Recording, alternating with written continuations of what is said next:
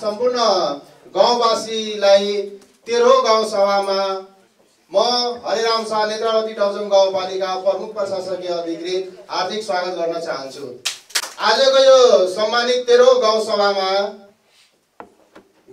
अब असी एकासीको नीति तथा कार्यक्रम प्रस्तुतिकरणको अध्यक्षता ग्रहण गरिदिनु हुनका लागि नेत्रावती डबजङ गाउँपालिकाका सर्दै अध्यक्ष श्री मेघनाथ रिजालज्यूलाई म हार्दिक अनुरोध गर्दछु।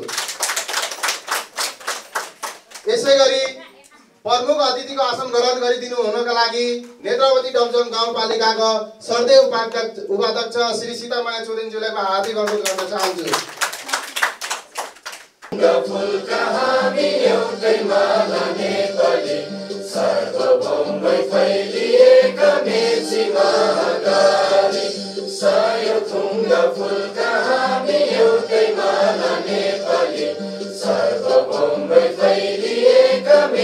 धन्यवाद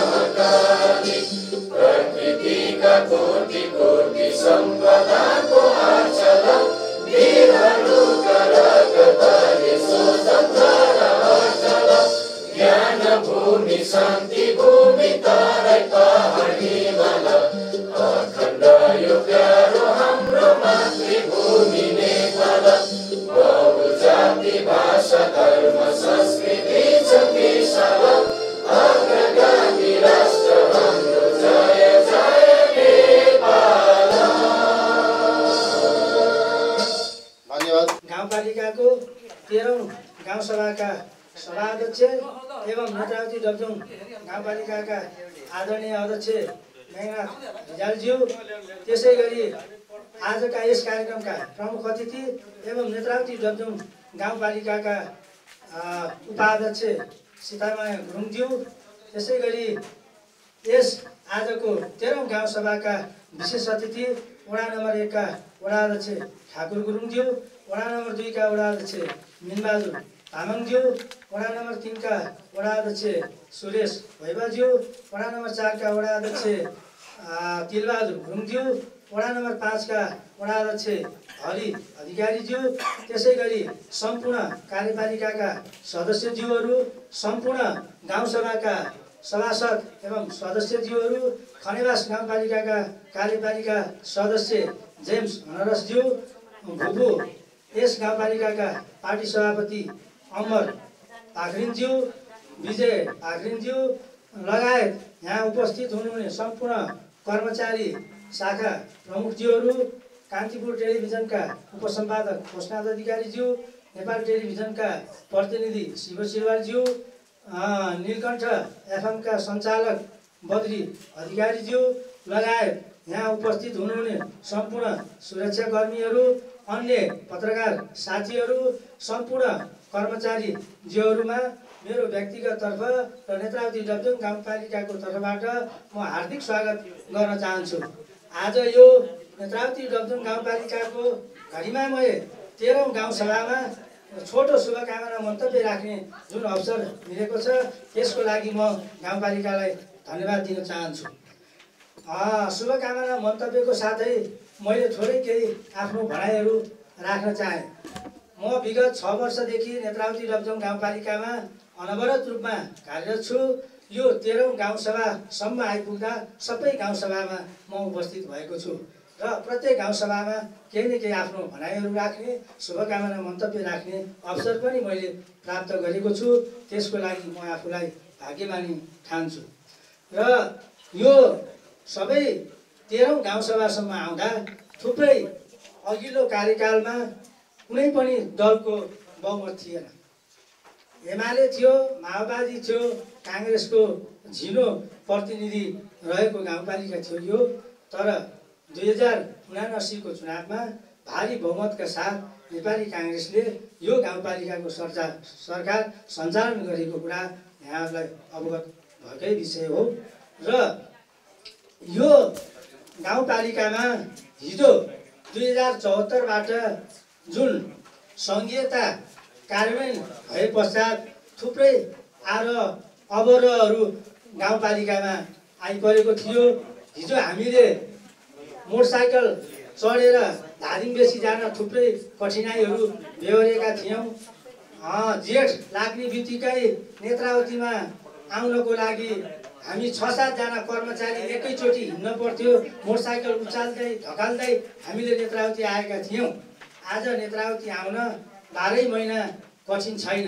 किनभने सबै हिँड्ने डुल्ने मान्छे राम्रो तरिकाले सरल आउन सक्छ। त्यस कारणले यो नेत्रावती डब्जुङ गाउँपालिका धादिङ जिल्लाको तेह्रवटा स्थानीय तहमध्ये एउटा सानो स्थानीय तह हो। यसमा विकासका केही चरणहरू सुरुवात भएको छ। अहिले जुन आउनुभएका जनप्रतिनिधिज्यूहरूले यो गाउँपालिकालाई कसरी राम्रो बनाउने तछाड मछाड नगरिकन गाउँपालिकालाई कसरी राम्रो बनाउने गाउँपालिकाको स्वास्थ्य शिक्षा कृषि भेटनरी यी यावत कुराहरूको कसरी माथि लाने भनेर यहाँले गहन छलफल गर्न जरुरी छ। केही वाद विवादहरू केही समस्याहरू आउन सक्छ। यो यदि यस्तो भएन भने यो लोकतन्त्रमा सुहाउँदैन लोकतन्त्रमा जति धेरै चाहिँ छलफल भयो जति धेरै कुरा भयो त्यति नै यसले विकासलाई चाहिँ अगाडि बढाउँछ भन्ने कुरा म यहाँलाई राख्न चाहेँ र केही कुराहरू हुँदाखेरि छलफल गरेर छलफलको माझ सबै विषयहरू टुङ्गाएर लान सकिन्छ भन्ने कुरा पनि म यहाँहरूलाई चाहिँ अवगत गराउँदै तेह्रौँ गाउँसभा सभ्य र भव्य रूपमा सुसम्पन्न गराउनको लागि सबैको पहल जरुरी छ र सभ्य र भव्य रूपमा यो तेह्रौँ गाउँसभा सम्पन्न हुनेछ भन्दै यहाँ उपस्थित हुनुहुने सम्पूर्ण अध्यक्ष उपाध्यक्ष वडा अध्यक्ष कार्यपालिका सदस्य लगायत सम्पूर्ण पत्रकार उपस्थित सम्पूर्ण महानुभाव कर्मचारी लगायत गाउँवासीहरू सबैलाई म हृदयदेखि धन्यवाद दिँदै सबैलाई स्वागत गर्दै स्वागतम स्वागतम भन्दै मेरो आफ्नो छोटो भनाइ यहीँ अन्त्य गर्न चाहन्छु। हस्त नमस्ते।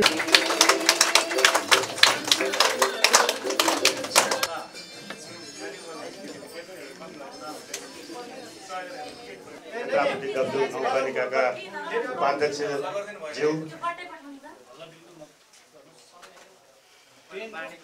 तेह्रै तेह्रौँ गाउँसभामा उपस्थित हुनुभएका वडा नम्बर एकदेखि पाँचसम्मका वडाध्यक्षज्यूहरू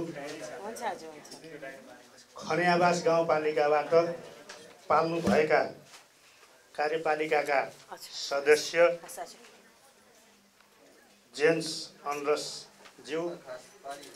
कार्यपालिकाका सम्पूर्ण सदस्यज्यूहरू गाउँपालिकाका सम्पूर्ण सदस्यज्यूहरू सबै विषयगत शाखाका प्रमुखज्यूहरू आदरणीय मर्दाई लगायत सम्पूर्ण उपस्थित साथीहरू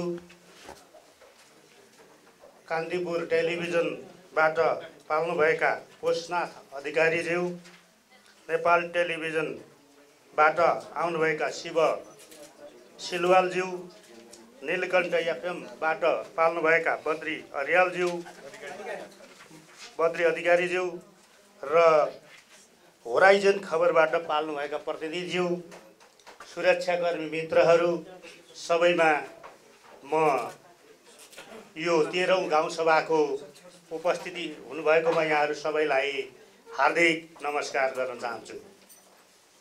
विशेष गरी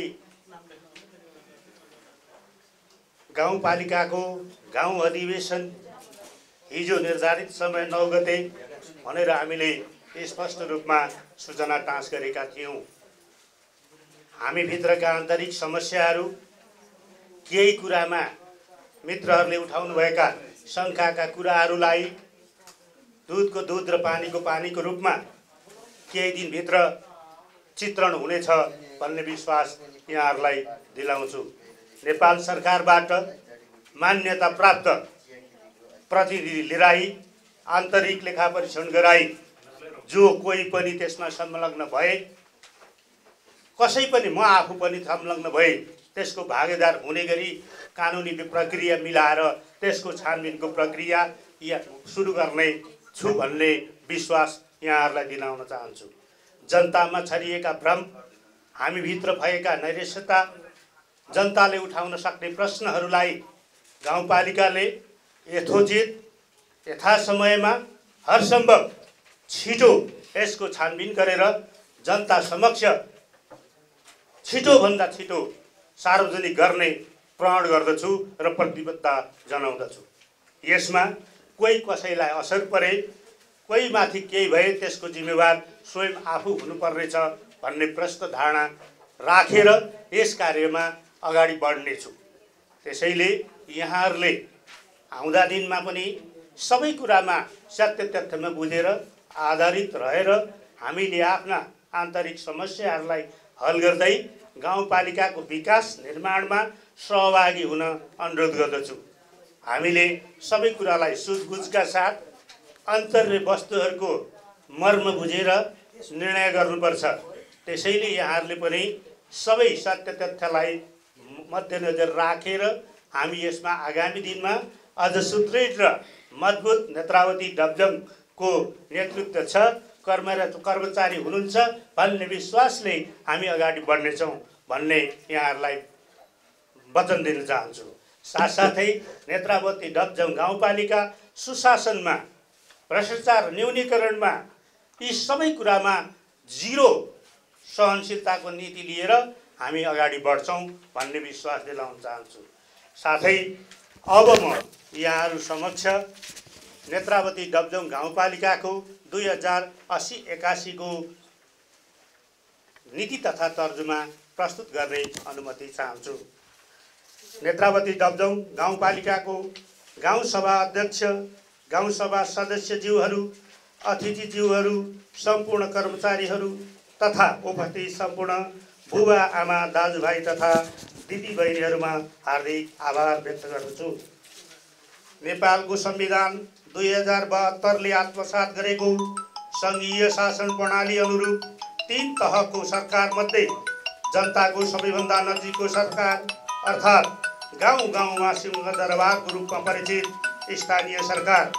सञ्चालन भएको छ वर्ष पुरा भई सात वर्षमा प्रवेश गरेको सन्दर्भमा हामी यहाँ आगामी आर्थिक वर्ष असी एकासीको नीति तथा कार्यक्रम प्रस्तुत गर्न यहाँहरूमाझ उपस्थित भएका छौँ। यो छैटौँ वर्षमा स्थानीय सरकार सञ्चालन गर्न सहयोग पुर्याउनु हुने सम्पूर्ण गाउँवासी जनप्रतिनिधिहरू कर्मचारीहरू राजनैतिक दलका प्रतिनिधिहरू नागरिक समाज शिक्षकहरू पत्रकारहरूमा म हृदयदेखि नै धन्यवाद दिन चाहन्छु।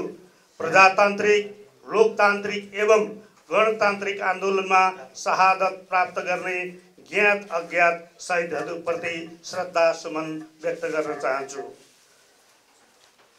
स्थानीय सरकारको दोस्रो कार्यकालको पहिलो वर्षको अन्त्यमा जनताका अपेक्षा तथा हालसम्मको विकास निर्माण तथा सेवा प्रवाहलाई पक्कै पनि यहाँहरूले मूल्याङ्कन गर्नु भएको छ। मलाई लाग्छ आम सर्वसाधारण जनताले परिवर्तन महसुस गर्नुभएको छ।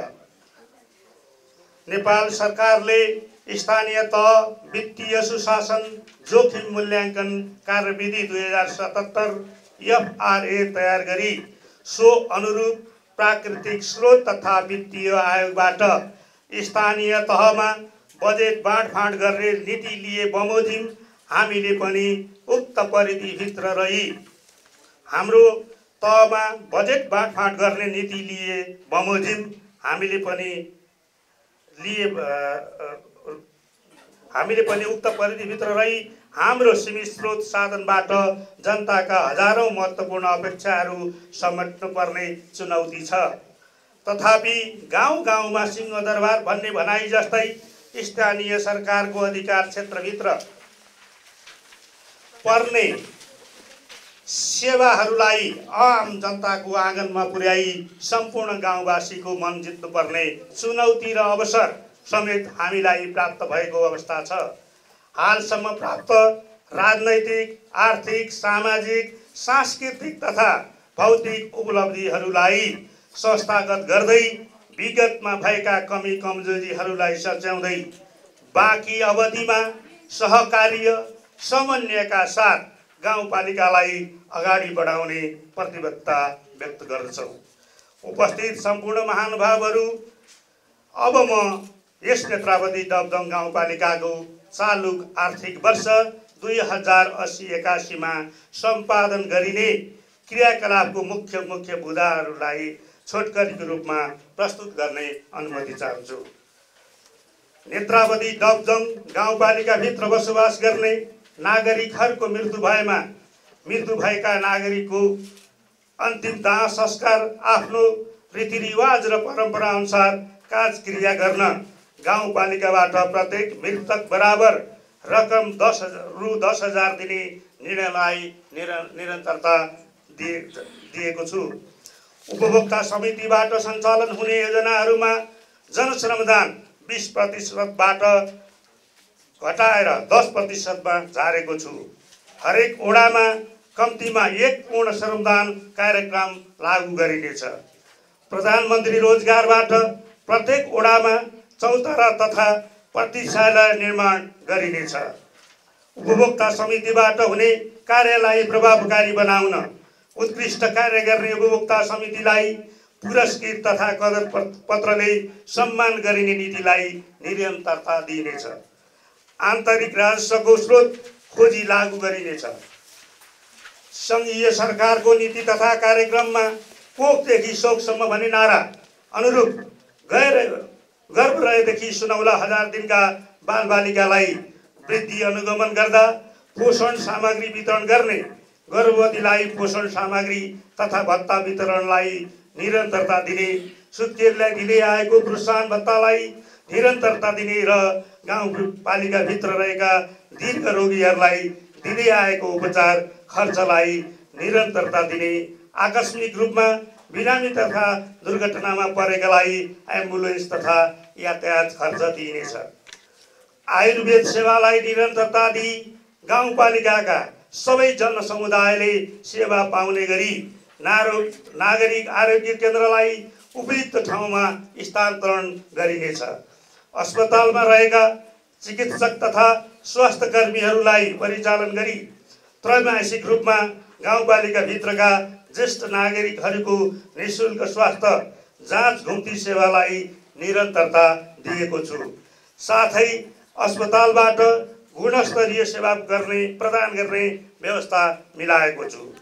महिला स्वास्थ्य स्वयंसेविका गाउँघर क्लिनिक खोप क्लिनिक आधारभूत स्वास्थ्य केन्द्र तथा स्वास्थ्य संस्थाहरूको भौतिक पूर्वाधार सुदृढीकरण औजार उपकरण औषधिको व्यवस्था स्वास्थ्य कर्मीहरूको क्षमता अभिवृद्धि दक्ष स्वास्थ्य कर्मीको व्यवस्था सुस्वास्थ्य कर्मीहरूलाई पुरस्कार तथा उत्प्रेरणाको व्यवस्था स्वास्थ्यमा सूचना सञ्चार प्रणालीको व्यवस्था लगायत विभिन्न स्वास्थ्य कार्यक्रम सञ्चालन गरिन्छ।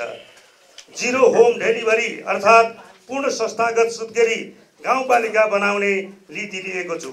यसको लागि हाल स्वास्थ्य संस्थामा रहेका बर्थिक सेन्टरहरूको भौतिक पूर्वाधार सुदृढीकरण औजार उपकरण तथा आवश्यक मात्रामा औषधिको उपलब्धता गराइनेछ। सामुदायिक महिला स्वास्थ्य स्वयंसेविकालाई तालिम गोष्ठी बैठक फिल्डमा गए बापतको यातायात खर्च समेत उपलब्ध गराइनेछ। पालिकाभित्र वन क्षेत्रको संरक्षण गर्दै हरेक वर्ष कम्तीमा एक हजार बिरुवा रोपिनेछ। सामुदायिक वन क्षेत्रलाई उत्पादन उत्पादक कार्यसँग जोडिनेछ। कृषि क्षेत्रको व्यवसायीकरण गर्ने वडा नम्बर तिन र चारलाई गोलभेडा पकेट क्षेत्र बनाउने कार्य अगाडि बढाइनेछ। साथै कृषिमा उत्पादनमुखी अनुदानको व्यवस्था गरिनेछ। साथै उत्कृष्ट कृषक सम्मान सम्मान कार्यक्रमलाई अगाडि बढाइनेछ।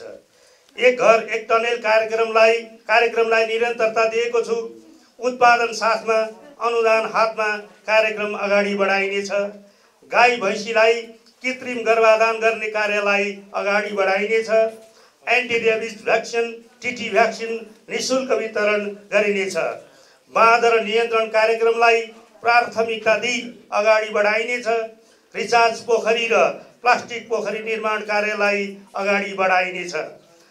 गैरादेखि ताङ्जा मानेसम्मको क्षेत्रलाई जाडी जडीबुटी तथा चिया खेतीको अध्ययन अनुसन्धान कार्य अगाडि बढाइनेछ। उहाँका कप तथा अध्यक्ष कपलाई निरन्तरता दिएको छु। साथै खेलकुद मैदानलाई निर्माणलाई प्राथमिकतामा राखिनेछ। पढाइसँगै सिप सृजना गर्ने उद्देश्यले मावि उभामीका विद्यार्थीलाई उचित किसिमको तालिमको व्यवस्था एवं मावि विद्यालय एक दससम्म नि शुल्क शिक्षाको व्यवस्था गरिनेछ। विद्यालयको हालको आवश्यकता र निरन्तर सम्बन्धी अध्ययन गरिनेछ। तामाङ समुदायको रीतिरिवाज तथा संस्कृतिलाई प्रवर्धन गर्नको लागि प्रत्येक ओडामा लोसार लोसार कार्यक्रमको थालनी गरिनेछ। तामाङ सङ्ग्रहालय निर्माण तथा तामाङ भाषाको खोज तथा अनुसन्धान गरिनेछ। स्थानीयहरूको परम्परा पेसालाई संरक्षण र व्यावसायिकरण गर्न आवश्यक आर्थिक सहयोग अनुदान तथा थप तालिमको व्यवस्था गरिनेछ जस्तै ठिकी बनाउने स्यामा टोपी स्वेटर गादो बुन्ने आदि। पानी घट्टलाई संरक्षण गरिनेछ। स्थानीय आरन बाजा वाद्यवादन आदिको संरक्षण गरिनेछ। गाउँपालिकाको भवन निर्माण कार्य सम्पन्न भएकोले सेवाग्राहीहरूलाई एउटै ढोकाबाट सेवा प्रदान गर्न सक्ने गरी कार्यालय व्यवस्थापन गरी गाउँपालिकाबाट प्रदान गरिने सेवालाई पारदर्शी जवाबदेही र जनउत्तरदायी बनाइनेछ।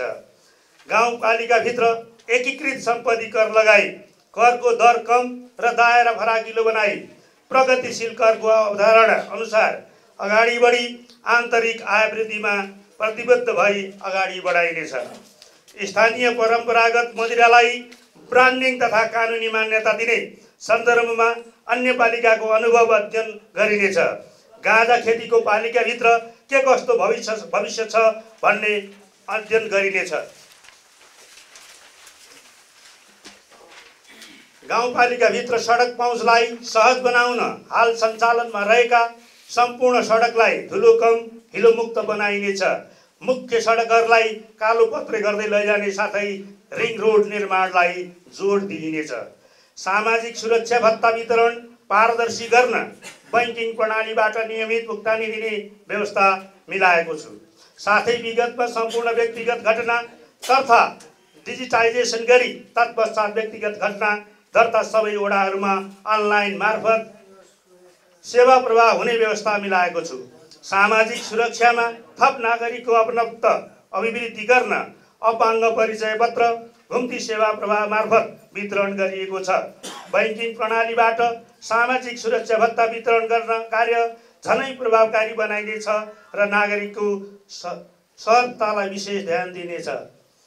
गाउँपालिकाको गतिविधि पारदर्शी तथा पहुँच योग्य र समय सापेक्ष विद्युतीय मैत्री सुशासन कायम गर्न राजस्व सङ्कलनमा रिम्स सफ्टवेयर प्रयोग गर्ने कार्य अगाडि बढाइनेछ। दर्ता चलानी र योजना सफ्टवेयर मार्फत अगाडि बढाइनेछ। साथै सबै वडाहरूमा स्वास्थ्य संस्थाहरूमा इन्टरनेट तथा इन्टरनेटको क्षमता विस्तार गरी सेवा प्रवाह गरिनेछ। गाउँपालिकाको अध्यावधिक तथ्याङ्क अनलाइन गर्ने उद्देश्यले डिजिटल प्रोफाइल तयार गरिएको छ। यसले आवधिक योजना बजेट निर्माण तथा मध्यम मध्यमकालीन खर्च संरचना निर्माणमा टेवा पुग्ने विश्वास लिएको छु। खानेपानीको समस्या समाधान गर्ने उद्देश्यले सञ्चालित एक घर एक धारा कार्यक्रम सफलतापूर्वक अगाडि बढिरहेको छ र आगामी आर्थिक वर्षमा समेत यसलाई निरन्तरता दिन भर्याङ दाउँदाको स्थान लिफ्टिङ खानेपानी तथा सिँचाइको काम अगाडि बढाइनेछ।